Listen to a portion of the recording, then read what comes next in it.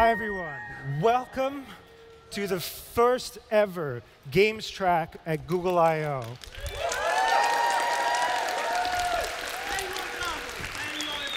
I don't know if you guys have noticed, but Google I/O is kind of a big deal to Google. And so having our first ever games dedicated track is huge. This is the first of many talks for game developers this week. So make sure to look for the deep technical sessions, sign up for a game review, and check out the demos in the garage. So I'm Tian, and I run product and UX for Google Play. Like many of you, probably got your start in computer science because of games. For me, I was four years old when I started playing and programming on an Atari 800, and it has changed my life.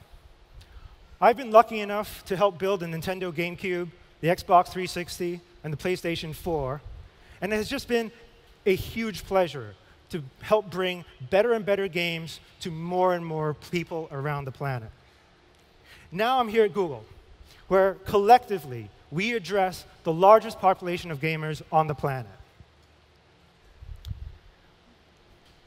What we know as game developers and platform developers is that games need reach.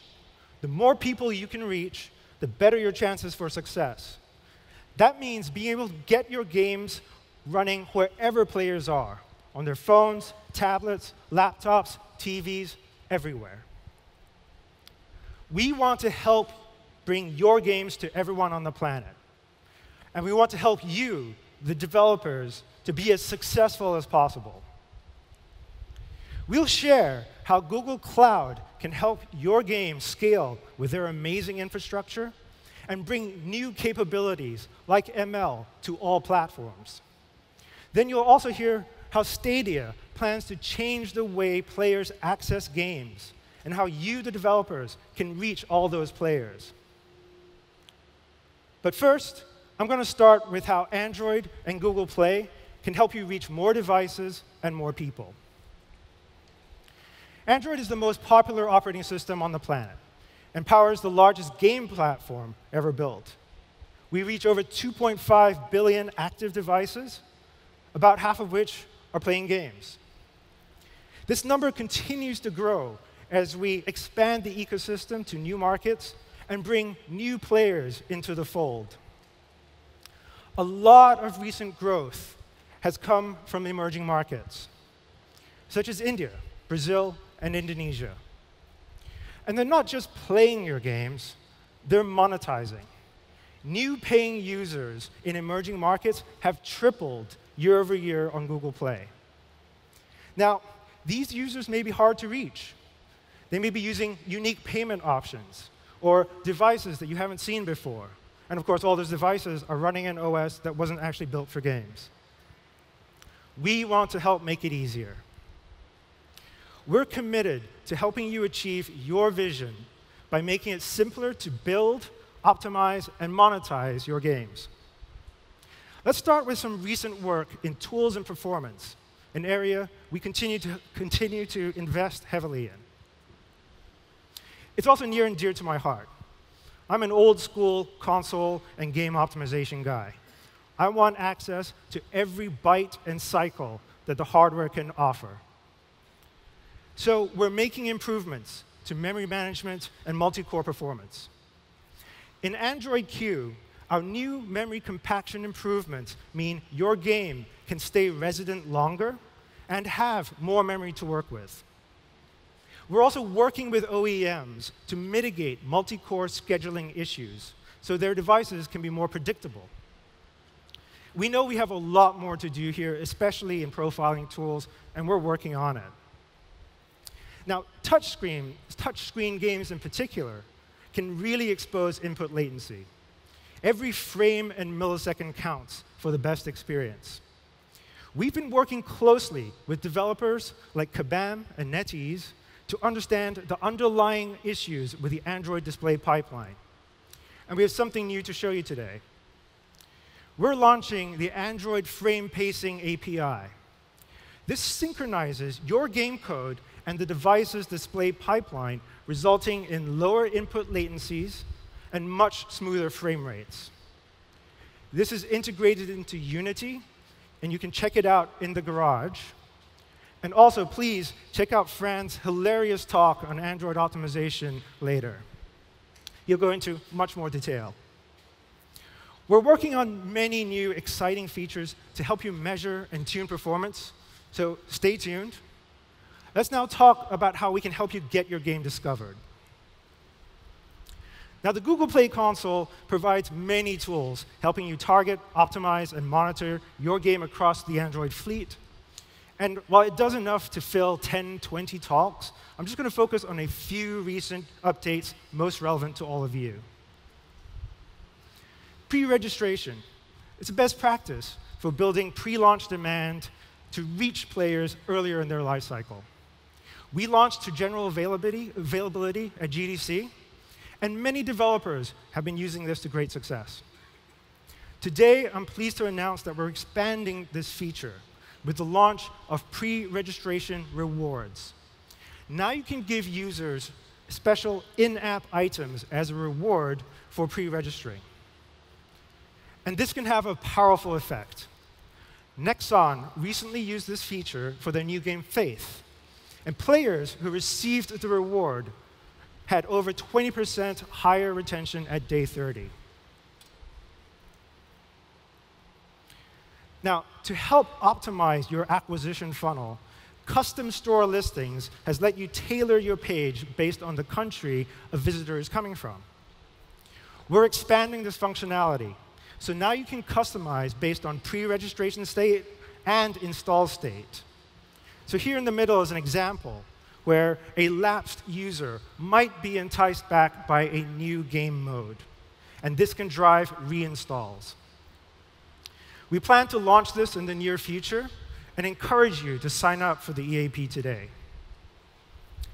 Now, we've also extended store listing experiments to work with custom store listings. So you can test and optimize all these variants. This was the number one feature request from our EAP, and we're very happy to deliver it to you. Another way that we help drive acquisition is by reducing install friction. For example, with Google Play Instant, players can jump into a demo of your game in seconds without installing. And we've seen that developers who build great instant experiences can, install their, can improve their install conversion by up to 20%.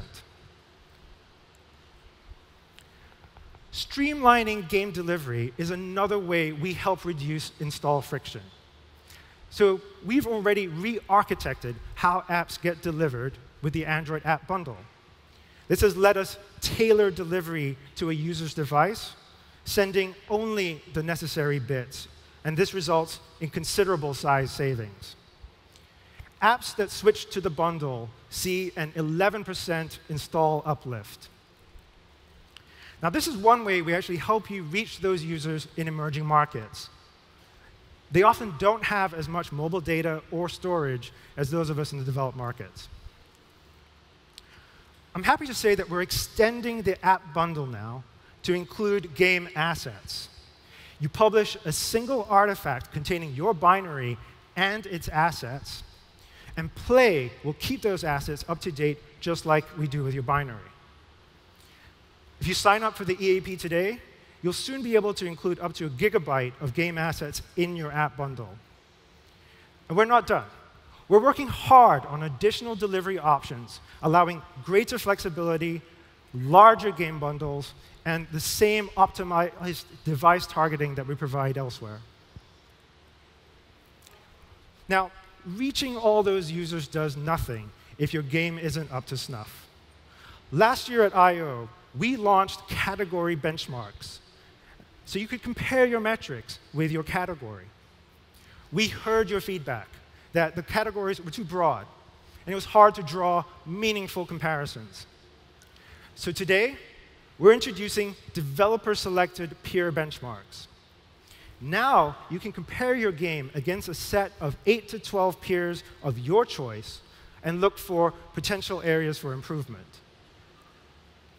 Play Console is the only place where you can find this level of benchmarking accuracy, And we built a brand new benchmarking platform to work with all the important metrics across the console. Now, the tools I've mentioned help you build, promote, and distribute your games. Let me share some updates to our billing platform. Since last I.O., we've added seller support in over 30 new countries. We've also added 20 new carrier billing partnerships, expanding our DCB reach to over a billion active devices. Again, this is critical in helping those new users in emerging markets transact on the platform. We're also constantly running campaigns to optimize the purchase flow, reduce latency, drive growth, and reduce cart abandonment. We're seeing a lot of you see success with in-game subscriptions. Now, I used to help run a subs business at Hulu, and I learned just how hard it is to do this really well.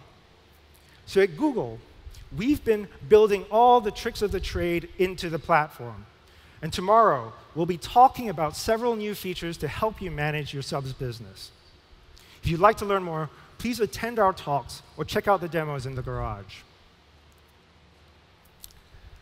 So you've built a high-performance game, you've minimized its size, now it's all about getting discovered. Let me share some of the changes we've made recently on Play to help you reach more people. Now, with all the creativity and innovation that goes into a game, we know it's impossible to convey all of that in a single app icon. We need to show the actual gameplay. And today on the Play Store, you may have to go through many layers to see what a game is actually about. So we're doing more to bring the soul of your game to the players right on the home page. We're showing more of your screenshots, trailers, and videos through several new units, and it is working. In some cases, we see click-through rates more than double. Now, another important discovery signal is your game's rating. For years, you have told us that you want a rating based on what your game is today, not what it was years ago. And we agree.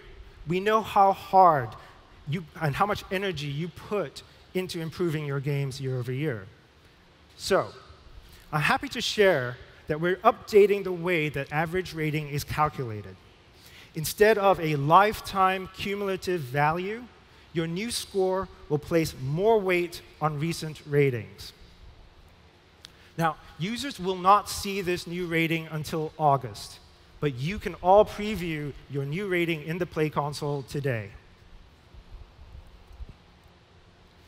We're also experimenting with showing live ops events. This is a new way to reach more players and drive engagements with tournaments and sales or after a major update. If you're interested, please sign up for the EAP. Now, I've only mentioned a few of the many things we're doing to help you. To learn even more, please attend the What's New in Google Play tomorrow at 11:30. We hope you take advantage of these tools and continue to share feedback so we can continuously improve them. Now, I've talked about discovery and engagement on the Play Store, but off store is just as important. In 2018, over 50 billion hours of gaming related content was watched on YouTube by an audience of over 200 million. Let me share some of the interesting insights we found. So, 90% of gamers turn to YouTube every week to watch some gaming videos. I'm one of them. Yeah, thank you. And developers spend more than a quarter billion on influencer content. By connecting what we know about watch people viewing videos on YouTube with their actual install behavior on the Play Store, we can actually show the ROI for these campaigns. And it's pretty amazing. For every one person who watches a video, clicks the link, and installs a game, there are four more that do the same without clicking any links. They're not trackable. This 4x is an average and depends on the game and the nature of the video. But we've seen multipliers as high as 10x. So this is extremely valuable, and you can expect us to build more connective tissue between YouTube and all our game efforts. So I've just given you a small taste of how Play is helping you reach more players than ever before. Next, Sunil will tell you how Google Cloud is enabling new capabilities for game developers and helping them scale. Please welcome Sunil. Thank you, Tian. Uh, my name is Sunil Rayan, and I lead Google Cloud for Games. Tian talked a lot about reach, and games have never reached more players than they have today. In fact, I think we have about 2.4 billion players out there. And games have also become so popular that it's one of the world's most foremost form of entertainment these days. But with that level of reach comes complexity, right? So you're managing a game across different geographies, different languages, time zones, and to reach your players is becoming more and more challenging. Today's games are also played across multiple platforms, and you know, cross-platform play is going to start to become very vital. Thirdly, the speed and scale of your games is just growing faster and faster. What used to take probably months or years to get to 10 million users takes, it just happens in a matter of days right now.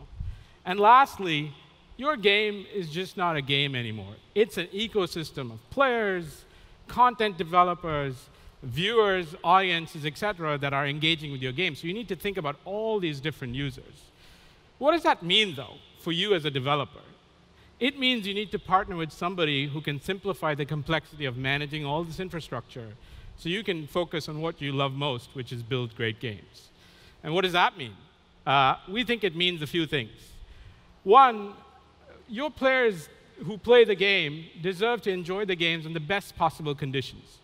So uh, your infrastructure needs to be global, scalable, and reliable, and it needs to keep up with the demand, run quickly, and run globally.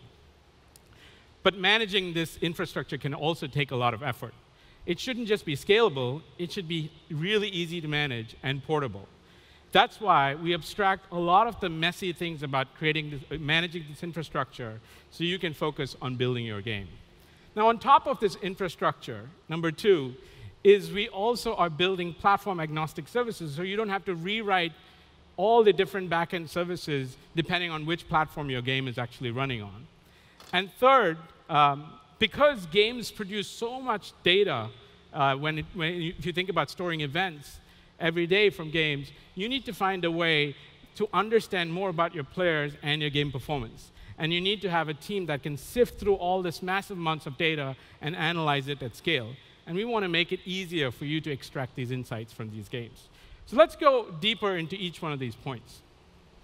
The basis of everything what Google Cloud does or is doing is its global infrastructure and network. We've invested massive amounts of money across the globe in building regions to support these data centers. Uh, we've got 20 cloud regions across the world, and we have three more on the way in Jakarta, Seoul, and Salt Lake City.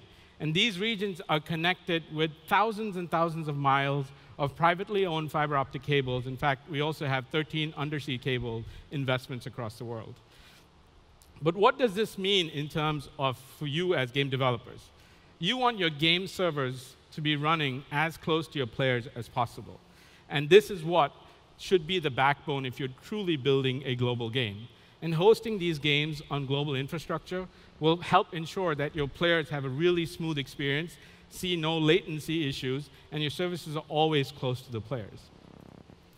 Some of the world's largest games are actually running on, on, on this infrastructure. Apex Legends, which I'm sure many of you have played, had a great launch by running their game servers on Google Cloud Compute Engine with the help of our friends at Multiplay. Multiplay is a managed partner of Google Cloud that provides a full suite of services, orchestration services, and scaling tech to help host your game servers. Apex accumulated you know, million players in about eight hours and almost 10 million players in about three days. So when talking about reach, this is the type of global scalability that Google Cloud can offer your game. Seamless performance, so you know, wherever your players may be. It's not only Apex. We also announced at GDC, Google Cloud was picked as the cloud provider to host game servers for the highly anticipated sequel, The Division 2. Massive, which is a Ubisoft studio, and Google Cloud worked together to use the cloud compute engine and deliver a smooth online experience for these players. In fact, we had our Google Cloud engineers sit with the massive engineers in the same room to make sure that they had a successful launch. We realize also that many of your successful games are already running on other infrastructure. But the needs for global games really needs a different approach. We're firm believers in giving developers flexibility to run their backend infra infrastructure where it makes most sense for you. That's why open source is a key part of our strategy, not just in gaming, but also in Google Cloud. Uh, we think we know a little bit more about open source because we invented Kubernetes. For those of you who are unfamiliar with Kubernetes, Kubernetes is an open source system for deploying and running software at scale. Because Kubernetes is open source, it gives you the freedom to take advantage of running your software, whether it's an on-premise, whether it's in a hybrid environment, or a public cloud infrastructure, which is GCP or something else. This helps you so you don't get locked into one cloud provider and you can move workloads as you wish. Uh, when you run Kubernetes, though, the best way to take advantage is to basically have the people who actually built it run it for you as well. So we're taking this open source approach and we're using it to build game-specific services and solutions. And we're not doing it alone. We're doing it with industry leaders like Ubisoft and Unity to bring you these game services to life. Agones, which is a game server, open source dedicated game server hosting solution, was built on top of Kubernetes with the flexibility to tailor the needs of your multiplayer game. You get native capabilities to create, run, and um, scale these dedicated game servers on Kubernetes using standard Kubernetes toolings and APIs. Building uh, Agones on top of Kubernetes lets you also choose where you want this to run, whether it's on-prem, whether it's on our cloud or other clouds. We also uh, co-founded a, open, a matchmaking framework called OpenMatch with Unity. And we call it framework because we want to take away the repetitive elements of a matchmaker so you can focus on the main things, which is the match logic. And we give you the flexibility for you to put your match logic in. So if you stop by our garage demo area, we have experts that can talk you, to, uh, talk you through both Agones as well as OpenMatch. We embrace open source uh, because we want everybody to use these solutions. You don't just have to be a large company with hundreds of employees to use these solutions. Supersolid, uh, a relatively small company, is using Agones in their newest game, Snake Rivals, as an example. We also want to make it easy for you to deploy these services into your games. So we actually have it available now in our Google Cloud Marketplace where you can launch Agones with just a few clicks. So I encourage you to check it out. Once you've had your game up and running, we talked about infrastructure, we talked about platform services, but now that you have the games up and running, you have a new challenge. I have all this data, and how am I going to manage and optimize my game with this data and, and think about user acquisition? Today's successful games, as you know, generate billions and billions of events. And as developers, you need to find a way to harness this data. But simply managing and analyzing this data, in, in fact, is not enough. With BigQuery, our globally scalable, fully managed data warehouse, you can have access to the data warehouse that keeps up with the data volume and velocity, enabling your data analysts to get results really fast. Not only that, we also have ML built into BigQuery that you can take, you can have your data analysts start to build machine learning models without really having a PhD in doing so. Um, so as I said, Google Cloud's goal is to enable everyone to use AI and ML. So we've built a, a suite of products uh, depending on how nascent or advanced your capabilities are in ML. So if you look on the left-hand side, you have prepackaged, powerful AI solutions that you can just embed within your game. So think about like a translation API that you can just help translate your game chats in real time. Uh, on the middle layer, we also have built new products. For example, we launched a product called Cloud AutoML, that because it's a technology that help, helps build custom ML models for you, all you need to do is prepare the data and set the objective in terms of what you're trying to achieve, and it builds the, it builds the machine learning models for you. And lastly, for people who have advanced capabilities in-house, uh, you've got a lot of data scientists and ML scientists and experts, you can write your own custom models with TensorFlow and use the cloud machine learning engine as a platform which is optimized to run machine, uh, to run machine learning models. So solutions like Cloud ML have really made AI experts even more productive and help beginners who are starting with ML build powerful AI systems that they could only dream of. Not only are we providing tools, we also see the potential of AI and ML across different phases in the game lifecycle. Uh, for example, whether it's game development, so you have like NPCs, QA testing, in your user acquisition and retention uh, processes, as well as improving the in-game experience. And large companies like King, Square Enix, DeNA, Netmarble are using Google Cloud to get real insights and embed these AI solutions into their game. Let's walk through some of these use cases and examples so we bring this to life. King, uh, you know, famous producer of Candy Crush, is using BigQuery to, to analyze massive amounts of data. They have something like 70 billion events that are produced every day that they store and they sift through all this data. But one of the cool use cases that we've seen coming out of King is they've used this data to simulate player testing. Um, models are deployed to simulate hundreds of game rounds in parallel, allowing developers to figure out how hard or easy are the different games based on the different skill levels of players. If they had to do this with real players and games, this used to take them months or weeks uh, in order to come up with like how they should design the challenge level by different segment types. And now they can do it in a matter of hours. So this is the types of things that help them save money so they can focus more on creating as opposed to waiting for data to load and have these tests all done. So this is one example where King is actually using it for play testing. Another use case that we've seen is DeNA, which you know, was breathing new, which with AI was breathing new life into a three-year-old game. The game was Gyakuten Othellonia. It's a PvP strategy game uh, where before starting a, a battle, you have to construct a deck. And each deck has to have about 16 characters. So, you know, they have all these different characters, so they had to, players have to think about 3,000 different combinations. And as a result, you know, you have a steep learning curve, and there's a lot of churn happening in the game. So what DeNA did is used BigQuery, our TensorFlow with a custom model, and with Cloud Machine Learning Engine to help build a recommendation engine and an AI training bot to help onboard the users so they could, you know, um, guide the users to build the right deck so they can start to play the game. And this, this is in an existing three-year-old game, so it reduced churn, and now they've had even more downloads, about 23 million since they made these changes, and it's continuing to grow. So you can embed new life basically in an old game with AI as well. The last uh, example I'm going to talk about is Netmarble, which uses uh, AI and ML uh, across a wide variety of use cases. Uh, they've actually built an AI dedicated team to push the boundaries of how AI and ML can be used in games. Uh, one interesting problem that they solved is a lot of you game developers spend hours and hours building games, but the last thing you want to see is revenue leakage. So, for example, uh, Netmarble used a model to improve their cheat detection services. Uh, they used models, uh, they used the same models across both their MMORPG games as well as their strategy games. And as a result, it helped them retain the high spend players because they had ways to detect anomalies in the game to, pretend, uh, to protect cheats from entering the game.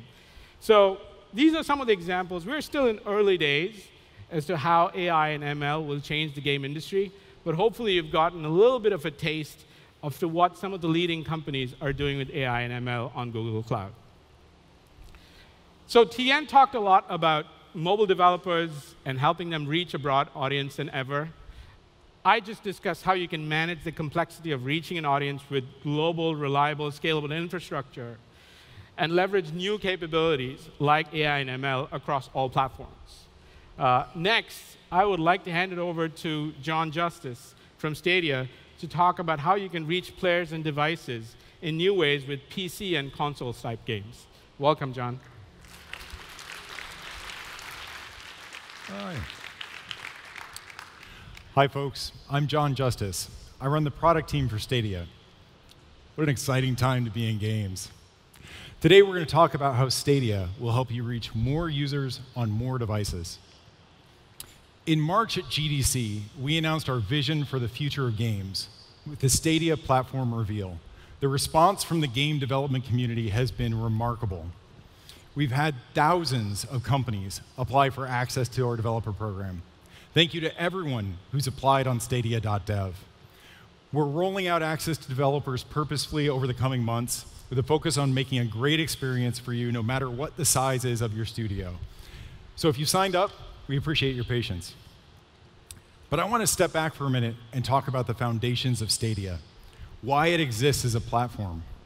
For PC and console developers, the games you're making, they're getting more complex, they're getting richer, higher fidelity, and frankly, more expensive to make than ever before. Now, more than ever, you need to reach more players. Until Stadia, that reach has been gated by the cost of hardware. Hardware that needs to be upgraded for hundreds or thousands of dollars every few years. That generational reset limits your reach as developers. So until now, you've faced a dilemma. Build a game that takes advantage of the latest tech, delivering the best visuals, the 4K visuals, the massive worlds, all of that. Or maximize reach by targeting the lowest common denominator in your hardware. And if you wanted to reach players on different devices, you'd usually just have to rewrite your game. You'd have to write your game multiple times. Stadia removes those dilemmas. As developers, you're always building on the latest hardware. You only have to build your game once to run across devices, and your players never have to buy an expensive console or PC, and they never have to upgrade. And with Stadia's YouTube integration, you can reach players wherever they are and bring them into the game. Your games deserve to be experienced by the widest audience possible on as many devices as possible and as seamlessly as possible. So, how does Stadia actually work? And more importantly, how do you make a game for the platform? Okay, how does it work? A player presses a button on the Stadia controller that fires the input via Wi Fi to the Stadia instance in the, in the Google Data Center. We process that input, run the game logic, render the frame up to 4K 60 HDR, encode the frame, and transmit it back to the player. If you're building a game using back-end servers, say multiplayer, you can use whatever cloud provider you like for that back-end server. But if you want the best performance, security, and value, you'll want to use GCP. For more on that, go talk to my friend Sunil, who was just on. That Stadia instance, the hardware running your game in the Google Data Center, it runs Linux with Vulkan graphics. Now, when you're developing for Stadia, you'll use the tools and workflow that you're already used to. The Stadia plugin for Visual Studio adds a Stadia target, just like any other platform. For shaders, we've worked with Microsoft on the DirectX shader compiler to enable HLSL to SPIR-V compilation to make the transition to Vulkan as simple as possible. We've integrated the open source tools you already use, including the LLVM compiler, RenderDoc for uh, graphics debugging, Valgrind for debugging and profiling, and Gapid, which we've optimized with the Android team uh, to work well for Stadia. We've also integrated a large and continuously growing list of middleware like Havok, CryEngine, and Audiokinetic. And of course, that list includes Unity and Unreal. Regardless of what engine you're using, once your game is built, you upload the Stadia game package to your development instance, which streams it to players. For those development instances, we give you a few choices. If you want to run your game in our cloud, you can use instances in our data center. If you prefer running it locally, we have Stadia Dev Workstations. And if you want a quad instance service server to be shared in your studio for your dev team, we have those too. So whether it's your cloud, our cloud, or at your desk, we support your workflow. As you get into testing your games for Stadia, you'll find more of the benefits that come with cloud gaming development. No more pushing builds to hundreds of testers and waiting for them to download. Instead, you'll upload a build to the cloud and just send out a link. The test team clicks that link and they're in the game. This means faster iteration, tighter feedback loops during this critical stage. All of that's managed through the Stadia Partner Portal, which you can actually check out today live in the garage here at I.O. So now we've covered at a high level How do you, as a developer, make a game for Stadia using a single code base, reaching desktops, laptops, tablets, phones, and TVs? If you want to dive more into the tech behind Stadia, we have a deep dive session coming up at 3 p.m. at the garage. It's being given by our playability team. It speaks directly to the software and hardware that power Stadia streaming. I highly recommend you all attend. Okay, so as you move from development to testing and filing your game, you'll eventually want to unleash your game on the world. When you think about launching that game, Stadia's YouTube's integration are designed to let you reach more players in new ways. So let's talk about how a player finds a game today. The number one place where they do that is YouTube. The number one activity people do before buying a game in the world is watch a video of that game on YouTube. Until Stadia, after watching that video, someone would have to jump through hoops to buy it and then wait to play it. With Stadia, they go from YouTube to play within moments. And taking that further, if you build state share into your game, players can not only jump into your game, but they can jump into that exact compelling moment that they were watching. State share enables you as a developer to compile the metadata of your game world. Things like a player's armor or inventory, the puzzle they were on, the opponent they were facing, any of those. All of those into a clickable link. That link can be sent anywhere on the internet and someone with that link, they'll jump into the game at that exact same spot, the very moment that got them excited about your game. After someone's in your game, they'll want to play with their friends, no matter what platform they're on. With Stadia, we support cross platform play and cross platform progression. We leave the choice to you, but we will do everything we can to make it possible. Today, we covered how you can use Stadia to reach more users on more devices. With a single code base, a powerful workflow that meets you where you are, powerful YouTube integration, and open policies, you can get your games into the hands of players everywhere. Stadia will be launching later this year in the US, Canada, UK, and much of Europe. If you're interested in learning more about the platform and applying to access for our developer platform, please go to stadia.dev now and apply. Thank you for coming to the first of many games tracks at I.O.